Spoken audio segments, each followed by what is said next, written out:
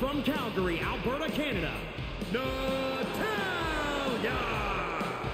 A multi-time women's champion, a reality star, a third-generation superstar. What an incredible career for this young lady. You know, the pink and black aren't the only qualities that Natalya shares with her Uncle Brett. She also has the ability to get it done on the big stage. One of the longest tenured superstars in all of the women's division, and she continues to get better with time.